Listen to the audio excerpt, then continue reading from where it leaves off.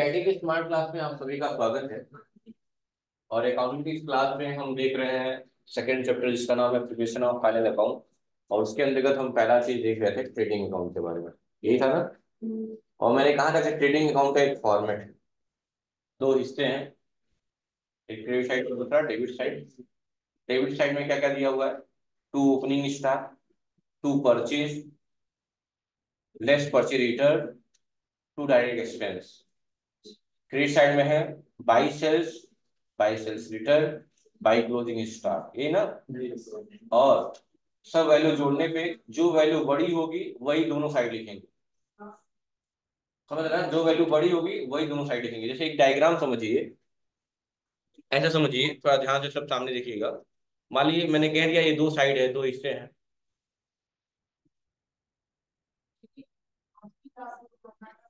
ये आपका credit side और ये आपका डेबिट साइड मान लीजिए क्रेडिट साइड में हिस्सा आ रहा है पाँच रुपया कितना आ रहा है? और डेबिट साइड में कितना हिस्सा आ रहा है? दस रुपया आ रहा है। तो ये बताइए अमाउंट बड़ा कौन सा है? दस रुपया बड़ा है कि पाँच रुपया बड़ा है? तो दोनों साइड में कितना लिखेंगे? दस इधर भी और दस इधर भी। लेकिन वास्तविकता में इधर दस है क्या? नहीं, सिर्फ़ पाँच है। तो अंतर डेबिट साइड में आ रहा है। नहीं कहे अंतर क्रेडिट साइड में क्योंकि बड़े अमाउंट से कभी तुलना नहीं होगा। तो अंतर किधर आ रहा है? डेबिट साइड में। और डेबिट साइड में अंतर आ रहा है। कितने का अंतर आ रहा है? पाँच रुपए का। और नियम भी समझ लीजिए कि आपने सामान कितने का खरीदा था और कितने में बेचा। आप ही बताइए प्रॉफिट हुआ कि लॉस हुआ? है यानी अंतर अगर डेबिट साइड में आएगा तो लिखेंगे to gross profit to gross profit उल्टा कंडीशन कर लेते हैं, मिटा दिया। कंडीशन थोड़ा सा चेंज कर दिया मैंने। फिर से, कि आपने खरीदा था कितने रुपए में? दस रुपए में खरीदा था और कितने में बेच दिया? पाँच रुपए में बेच दिया। अभी भी कौन सा बड़ा अमाउंट है? तो दोनों साइड में कितना रुपया लिख देंगे? दस रुपये लेकिन सच्चाई अगर देखिए तो इधर दस रुपये आ रहा है, कोई दिक्कत नहीं है। लेकिन इधर नहीं आ रहा है। पाँच रुपया एक्स्ट्रा आपने बढ़ा के लिखा है। तो पाँच रुपया अंतर आ रहा है ना? अंतर किधर आ रहा है? क्रेडिट साइड में। और नियम समझिए। सामान खरीदते कितने का? दस का, क्योंकि परचेज ही डेबिट होता है। दस रुपए का बेच दिए, पाँच रुपए में। कम करके बेचे बढ़ा के बेचे हैं। तो लॉस होगा कि इनकम होगा? लॉस होगा। तो कितने का लॉस होगा? लिख देंगे बाई ग्रॉस लॉस ये बात समझ में आई कि नहीं आई? आसान है कि नहीं आसान? है तो क्वेश्चन मैं इसके कॉपी नोट्स बंद कर लीजिए, आप नोट्स बंद खोली रहिएगा। नोट्स बैग में डाल लीजिए सिर्फ़ रफ और पेन पास में रखिए। और फॉर्मेट एक बार सर्च निकाल फिर से देख लीजिए। इस लाइन से कोई लेना देना नहीं है समझाने के लिए दिया हुआ है। पार्टिकुलर अमाउंट पार्टिकुलर और अमाउंट सही है? बस सोचना किसके लिए है? परचेज और परचेज रिटर्न के लिए और सेल्स और सेल्स रिटर्न के लिए। बाकी तो बस पढ़ पढ़ के छाप लेना है। यही है ना? चलिए क्वेश्चन अब क्वेश्चन लिखने का फॉर्मेट वही होगा। जैसे ट्रायल बैलेंस में क्वेश्चन लिख रहे थे, वैसे इसमें भी क्वेश्चन लिखेंगे। क्वेश्चन आपके स्क्रीन पे है। ये रहा। तो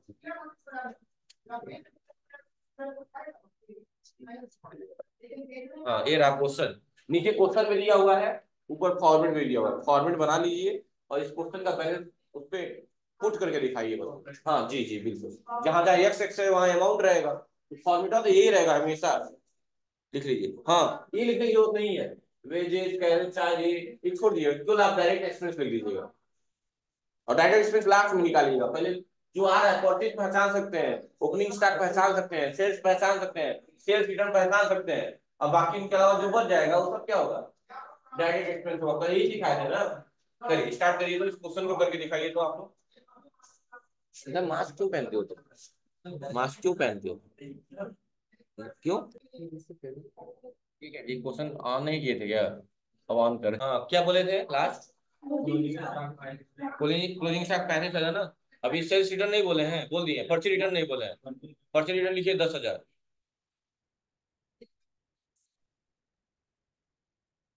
हो गया? हो गया? इलेक्ट्रिसिटी एक्सपेंस पच्चीस सौ रुपया। इलेक्ट्रिसिटी एक्सपेंस पच्चीस सौ रुपया।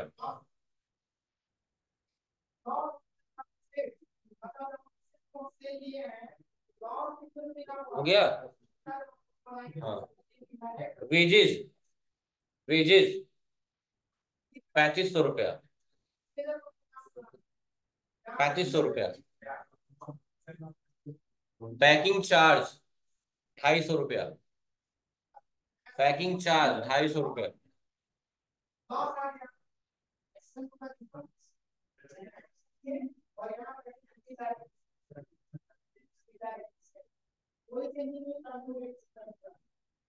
ढाई सौ रुपया हो गया। फ्यूल, आठ हज़ार रुपये।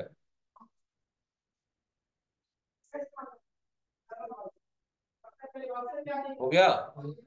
फ्यूल, आठ हज़ार हो गया। Octroi O C T R O I O C T O R I octroi double two five zero, बाईस सौ पचास, डबल टू फाइव ज़ीरो। हो गया।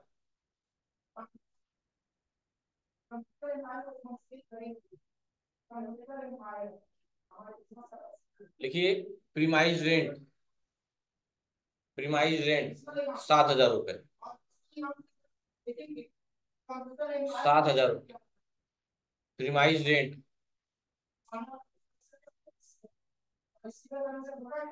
हो गया? देखो freight charge F R E F R E I G S T freight charge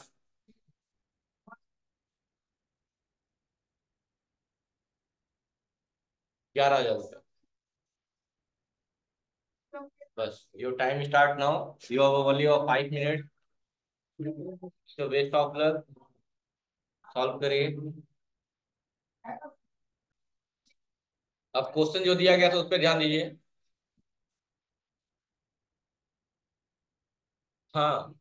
सुनिए बात मत करिए। अब यहाँ सामने देखिए बोलिए। आदर्श खड़े हो जाओ तुम्हें। और कोई और नहीं बोलेगा। चलो ओपनिंग स्टॉक का बैलेंस बताइए कितना दिया हुआ है? बीस हज़ार। मैं के लिख रहा हूँ आपने नहीं, नहीं लिखेंगे। परचेज कितना है? परचेज रिटर्न भी दिया हुआ है। तो अमाउंट में लिखेंगे यहाँ लिखेंगे। एक लाख पाँच हज़ार ना? एक लाख पाँच हज़ार।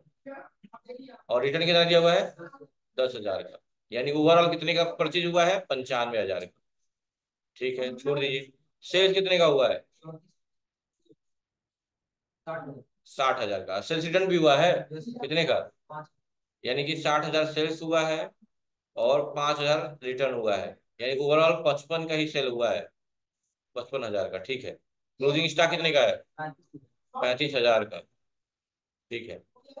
अब सब हो गया। बाकी अब इसके बाद जो भी बचे, वो सारे एक्सपेंस है। Octroi trade charge premise rent wages electricity expense सब एक्सपेंस है। टोटल जोड़िए, कितना हो रहा है?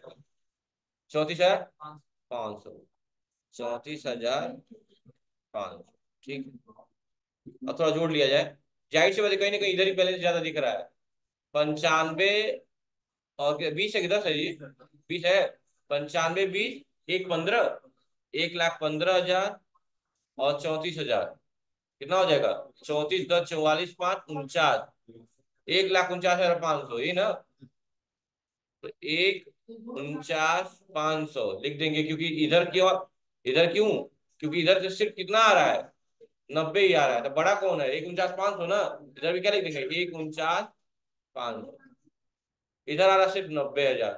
कितने का अंतर आ रहा है? उनसठ हज़ार पाँच सौ। और इधर अंदर आने का मतलब क्या हुआ? बाई ग्रॉस लॉस हुआ। प्रॉफिट की बात इसमें है ही नहीं। कितना आसान है, देखिए। हो गया सर इसमें कौन सा टाइम लग रहा है? आपको इतना पूछ रहे बैठ जाओ। इसमें कहाँ टाइम लगा, बताइए। तो इस तरह से आपका ट्रेडिंग अकाउंट खत्म हो गया। कल से हम पढ़ेंगे पीएल अकाउंट के बारे में। यानी प्रॉफिट एंड लॉस अकाउंट फिर बैलेंस शीट, फिर कंपनी पे काम करना स्टार्ट। ठीक है? चलिए, आज के लिए इतना ही। Thank you